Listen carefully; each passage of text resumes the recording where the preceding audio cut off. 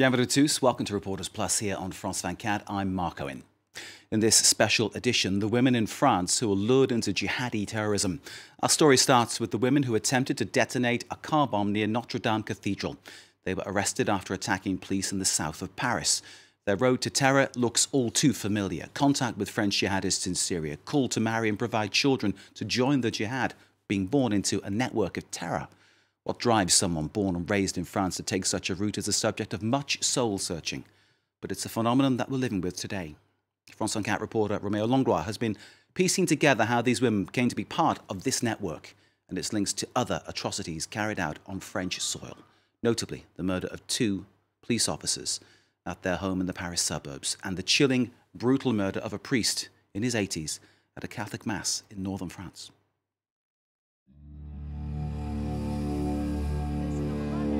An underground, paranoid world.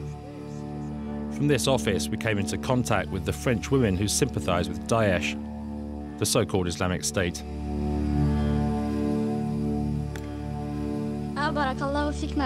May Allah bless you. Sweetheart, Hijra is for women too. She'll marry and have children. The children will enlarge the Ummah.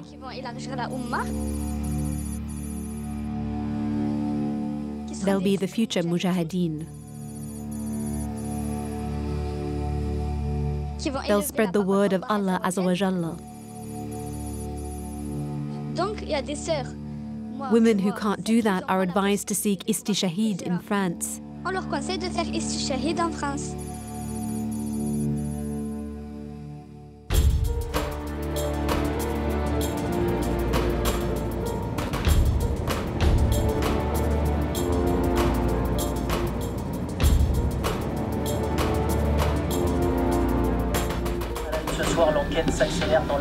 Bonbonnes de gaz.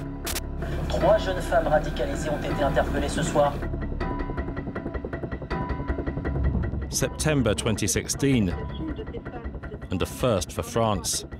A thwarted terrorist attack in which all the suspects are female. Sur ces images, l'une d'elles est arrêtée. Mais Inès Madani, la plus jeune, sort un couteau et s'attaque à un policier. Inès Madani est la fille du propriétaire de cette voiture abandonnée dimanche dernier, à 200 mètres de Notre-Dame, avec à son bord six bonbonnes de gaz et trois bouteilles de carburant. The would-be car bomb was never detonated. Toutes les rues de la ville qui sont bouclées, très difficile d'accéder dans le quartier de la gare, près de l'avenue Jean Moulin, où les trois arrestations ont eu lieu. Three days later, Ines Madani and her accomplices were arrested at this roundabout in a nondescript town just south of Paris. Elles ont euh, quelque chose. euh, I really think there's something fanatical about them. Parce que vraiment, euh, Hier des hommes, aujourd'hui Before it was men, today it's women. What about tomorrow? There's no security at all. It's not right. sécurité totale, ça va pas.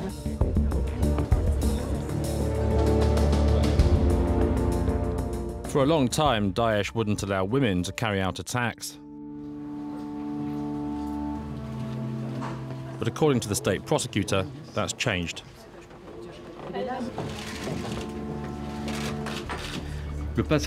These young women acted this out on the orders of members of the terrorist Islamic State organization in Syria. It's proof they want to turn women into fighters. They meet and set out their plans online.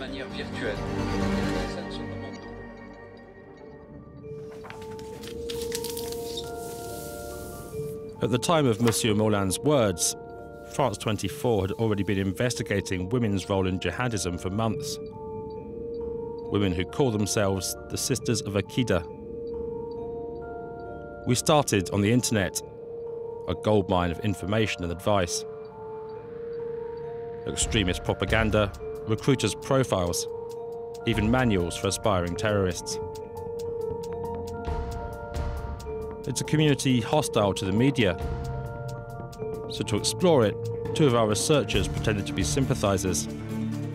They created fake Facebook profiles and managed to enter into a network of radicalized French women and girls, alienated from society and tempted by violence. To protect their identity, our pair wore niqabs, just like the women they approached.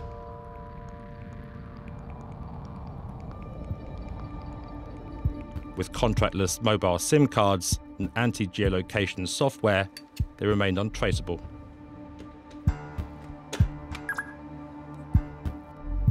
Eighteen days after setting up their profiles, a man we'll call Abdel got in touch. Are your papers ready? Yes. Why? To prepare for Hijra. Hijra, to migrate to an Islamic country. To the jihadists, that means Iraq or Syria. Abdul's wary and controlling. He says he's French, based in Algeria, a claim we can't verify.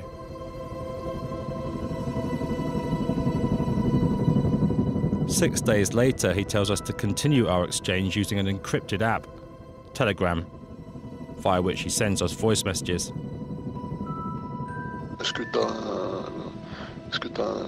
Est-ce que t'as. Ton voile ou quelque chose à côté de toi là parce que je vais t'appeler?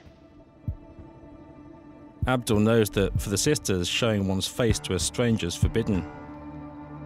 He wants to make sure we're not from the intelligence services or the media.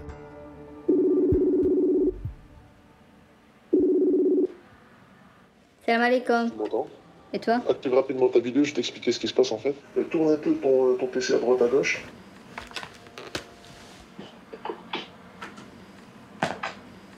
Fallait absolument que je te vois maintenant quoi pour pouvoir continuer. Ok, ok, salam. Ok, pas de soucis, salam alaikum. Ok, salam alaikum. Abdul says he'll talk to his religious brothers in Syria about us. Mm. A little later, he calls back. Et donc, euh, et, euh, il m'a dit parce qu'en fait, les, les filles seules, genre, c'est un peu délicat là-bas. Il a dit c'est, elles seront plus libres si elles arrivent mariées. Euh, je, je t'aurais proposé de te marier quand même, avec moi ou avec mon frère, mais euh, vraiment pour, par, euh, entre guillemets, par forme, quoi. Histoire que ça facilite euh, le passage. Et je pense que le but là, c'est de passer, quoi, c'est d'arriver là-bas. And once in Syria, their mission is to give birth to future jihadists. Une fois là-bas, tu vas devenir un facteur hyper important, celui de la prochaine génération. Ton objectif, c'est partir d'ici avec la prochaine génération. Parce que les sœurs là-bas avec les armes, non, c'est pas très, c'est pas comme ça que c'est fait. C'est plus euh, les, les, les jeux pour la prochaine génération. Abdul gets back in touch the next day. J'ai parlé avec, euh, avec les frères. Il faut absolument que tu te prépares vite. Quoi. Donc déjà, il faut que tu apprennes à partir à l'aéroport seul et d'une façon naturelle. Il faut, en fait, ce qu'il faudra que tu apprennes à faire, c'est obéir exactement où il doit y aller. Exactement comme, euh, comme je t'ai dit de faire. D'accord? Over the next few weeks, Abdul looks to build up his authority, contacting us several times. He says right now, fighting makes reaching Syria impossible. He wants us to hold tight and wait.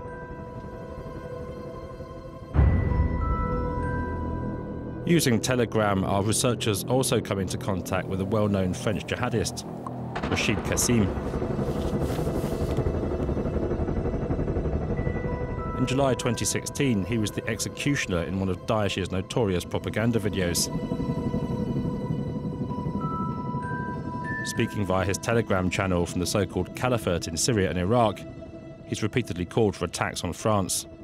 Qu'en est-il parmi la plus grande des adorations, c'est-à-dire le djihad Et qu'en est-il de la plus grande des plus grandes adorations, c'est le fait d'attaquer en terre de coufre Despite long being on their radar, Kassim has proved elusive for French intelligence. He's suspected of inspiring the murder of a couple of police officers outside Paris in June 2016,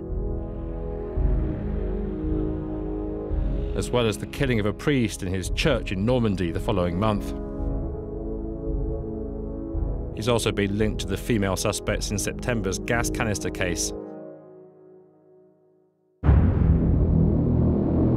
On his Telegram channel, he explains how to rig up a car bomb and offers advice on procuring the components.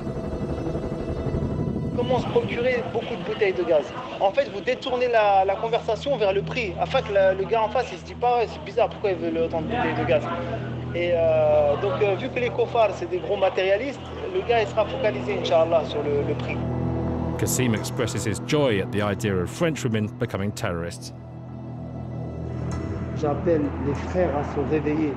Maintenant, quand des sœurs, elles font ça, alors je dis que c'est un signal d'alerte et que ça doit réveiller, faire un électrochoc dans le, cœur des frères. Tu te rends compte? Prendre un couteau, aller frapper un policier, c'est pas, c'est pas quelque chose d'exceptionnel, ça, qu'une femme, elle fasse ça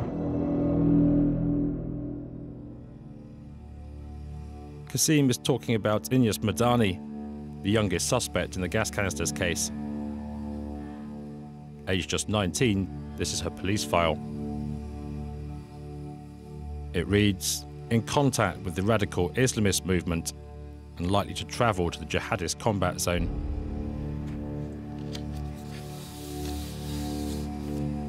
In a letter written before her arrest, Madani pledged allegiance to Daesh.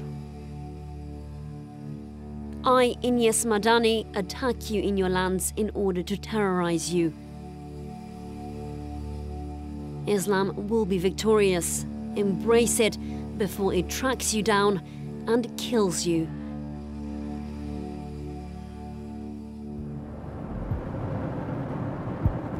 Madani's lawyer, Laurent Pasquet Marinacce, visits her regularly in jail. His client knows about our investigation and has allowed him to talk to us.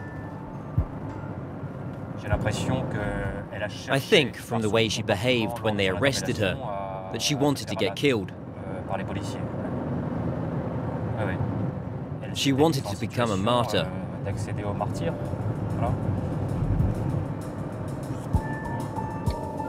According to Pasquet Marinacce, Madani lived in a virtual world, addicted to the internet and enraged by images of the war in Syria, ubiquitous on extremist websites.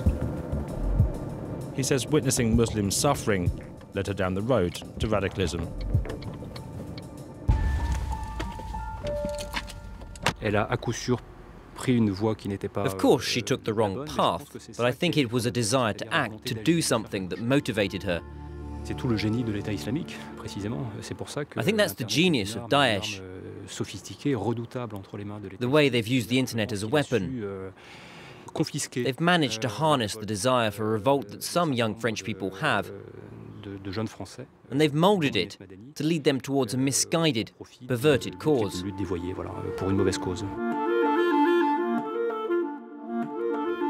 Inès Madani is in solitary confinement and faces a potential life sentence.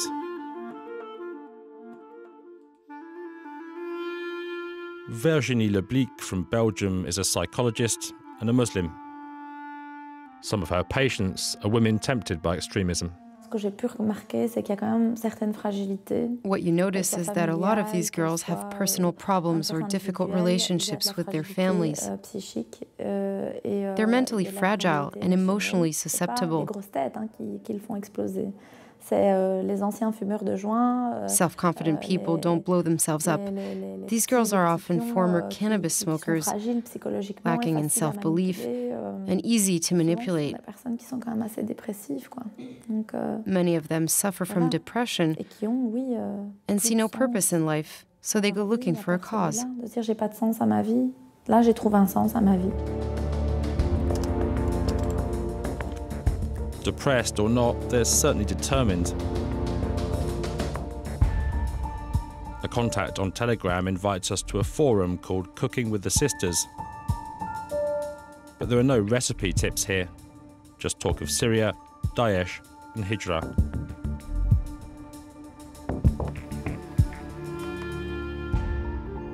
Among those in the chat room, a woman we'll call Amina. Her avatar is a roaring lion. We pretend to be recent converts seeking guidance and ask her about the role of women in Islam. You're asking questions, and I'm trying to reply as best I can. If I can't give you an answer, read up about it or talk to those who know. Because me, I know only as much as the next person. Claims of ignorance could be interpreted as a sign of modesty.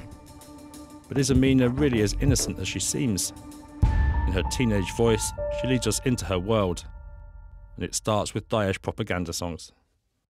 Al Hayat Media Center presents Ma calache est armée, les civils désarmés, j'élimine des Français, c'est Vaz qu'il faut remercier, ceinture c'est quatre branchés, dans une foule déclenchée, j'explose des Français, c'est Vaz qu'il faut remercier, les musulmans s'élancent, s'explosent. C'est de la bande. Isn't it great? I listen to it on repeat. If you want to talk about it, no worries. I'm here. We're sisters of God. We have to help each other because no one else is going to help us. We know little about Amina and never meet her. But she's willing to share her concept of violence and death. Pray so that Allah blinds our enemies and grants us martyrdom.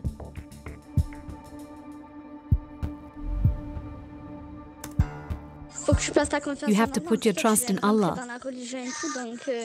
You've only just come into the religion, so some things might seem strange to you, like fear of death. But you shouldn't be scared of death. Allah gives life and Allah takes it away. It's our last exchange. After this, Amina disappears into cyberspace. Is she deluded? Dangerous? Has she been arrested? One thing's for sure for some young French women, the virtual world of jihad has spilled over into reality. In August 2014, anti terrorist police arrested several teenagers who discussed staging a firearms attack on a Jewish neighbourhood in the southeastern city of Lyon. 19 year old Iman was one of them. She grew up in a working class neighbourhood, part of a large family with Muslim and Christian grandparents. At 17, she began wearing the veil and tumbled into the ideology of Daesh.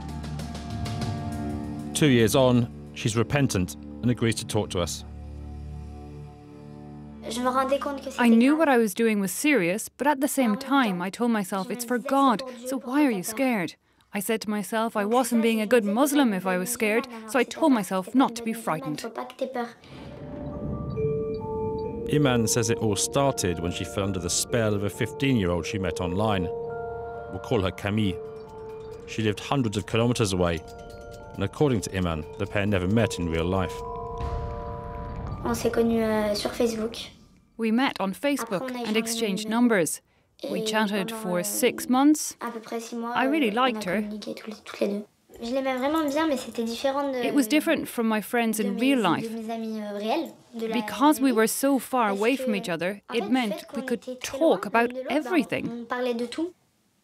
Je sais jamais si. I don't know whether I can say it was she who indoctrinated me. I don't know how to describe it. Pas comment comment décrire. Moi, j'avais jamais pensé euh, à mourir en fait tout court. I'd never really thought about dying. It was Camille who gave me ideas like that, little by little. Euh, I began hating life euh, j'en étais arrivée en fait à détester la and wanting to become a martyr. Euh, et je voulais mourir en martyr. En fait, le fait de, de mourir en martyr, ça nous donnait Dying a martyr meant we could go to paradise with 70 people we knew, being able to take my whole family to euh, paradise too. Toute ma famille avec moi. I started to become obsessed with the idea. Ça, ça m'obsédait aussi. The two young girls planned to steal Camille's father's hunting rifles and launched an attack. C'était tout en fait, c'était juste ça le plan. Des armes et aller tuer. That was it to take the weapons and go kill people. Pour faire, euh, I agreed to carry out a suicide mission two days before I was arrested. Je me suis fait arrêter deux jours après avoir dit OK. That arrest is what saved my life. Pour moi, ça m'a sauvé la vie l'arrestation. Investigators say the two young women were in contact with French jihadists in Syria who urged them towards violence.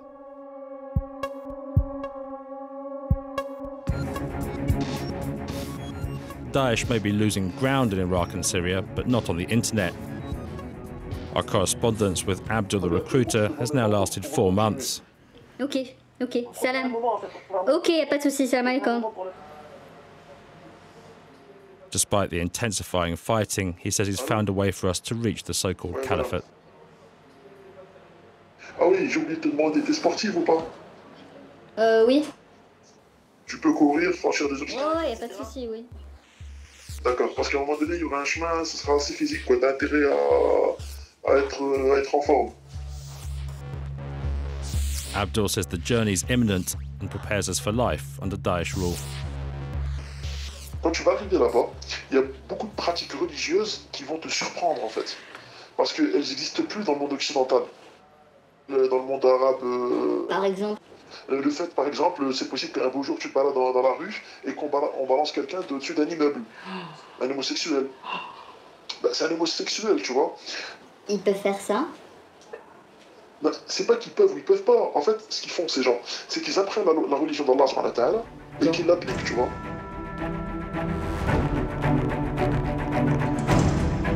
Around 800 French citizens, one third of them women, have abandoned their families to join jihadist groups in Iraq and Syria. It's a phenomenon that comes from across France, from big cities to the countryside, even little villages, like this one in the Bordeaux wine region. One of the first French women to make the journey, Anissa, grew up here. She left aged 22 in November 2013, two years before the Paris attacks. Ever since, her mother Fatima has been glued to her computer, her last link to the daughter she brought up alone.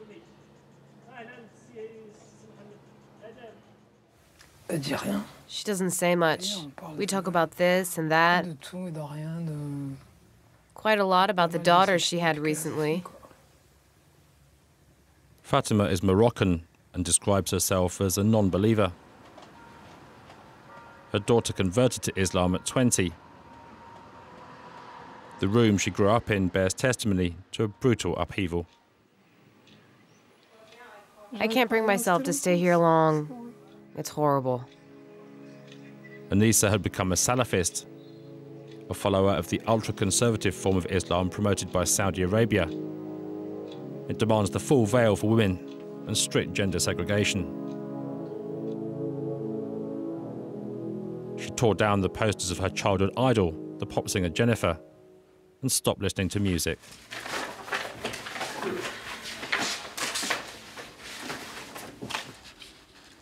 Even kissing on the cheek? In Islam, if a man and a woman are planning to get married, they're not allowed to kiss each other. I have to stop reading this, it's driving me mad. Anissa dreamed of a humanitarian mission to help her religious brothers dying in Syria. One Tuesday, she disappeared. Three days later, some friends knocked at her mother's door. On a Friday evening, two of Anissa's friends brought me a letter, her letter. That's when I understood what had happened.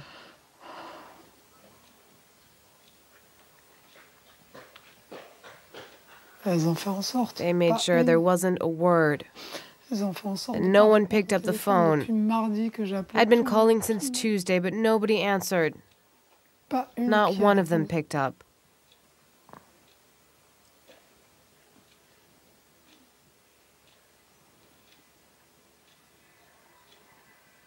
They had to wait until she was in Syria. That was the agreement. Mum, sit down and read this carefully. Some people will tell you it's because of extremism, but believe me, nobody made me do this. I thought about it long and hard. If I told you, you'd never have let me go. I've decided to leave for Syria. It's peaceful here. Don't cry, I'm not dead. I'm just elsewhere.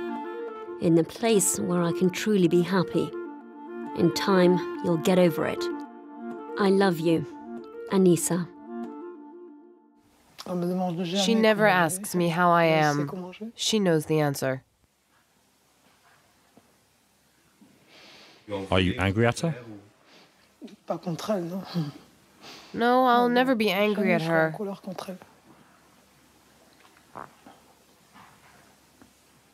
I'm angry at the monsters she met. It's not her fault. Fatima blames some of Anissa's acquaintances, people she accuses of indoctrinating her daughter. The path to extremism doesn't always begin on the internet. Sometimes it starts in real life. According to this confidential police report, Anissa came under the influence of a couple. We'll call them Rashid, an imam recently arrived from Spain, and his wife Mariam, a Salafist Frenchwoman.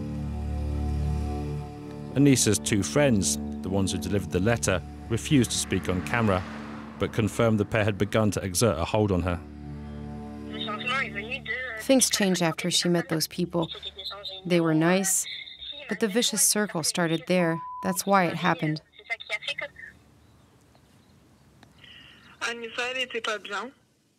Anissa was going through a bad period, as many people do in life.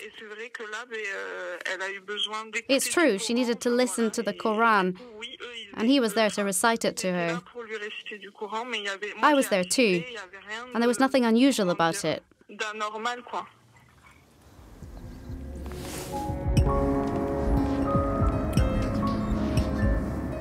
We failed to reach Rashid by phone, but find him in the car park outside the local mosque. Ah we ask him about Anissa. I don't know her. You don't know her? She's called Anissa? Anissa. I don't know Anissa. Are you sure about that? Yet our sources tell us Rashid went to Anissa's house with his wife and a cousin from Spain who was looking to marry. His French becomes hesitant. This man offers help. Your cousin was supposed to marry this girl? I don't have any cousins here. They're in Spain. Where is this cousin? In France? No, in Spain. He says his cousins are Spanish. My cousin has two children and a business. It's best if you go and see with him. Rashid's wife, Mariam, refuses to answer our questions. But Anissa's mother and grandmother say Mariam, Rashid, and his Spanish cousin did visit their home.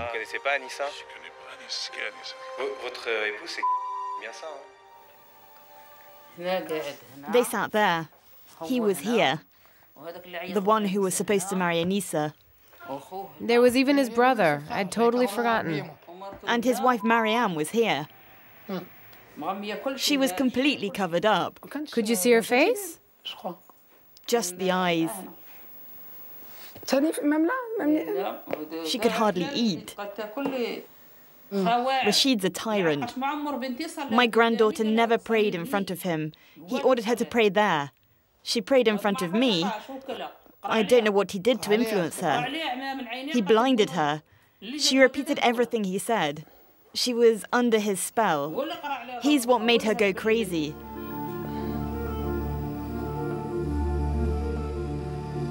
The women say they vetoed the marriage, prompting an insulting call from Rashid. He asked me why I didn't pray and said my food wasn't halal. Why don't you pray? Your food is forbidden. Why does your daughter smoke? Why does your son smoke? He criticized all of us, and if he says I'm lying, go and find him and we'll see.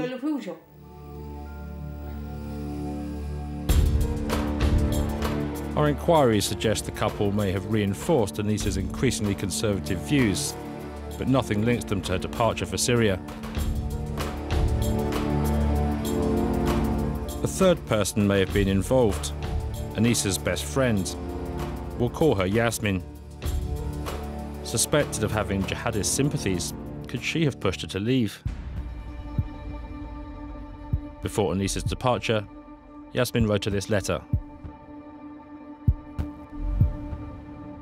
May Allah congratulate you, Anissa. I thought I was crazy, unhappy in life. People see me as a foreigner, and I'm glad of it. Be a foreigner for your family. God will thank you. I'm proud of you.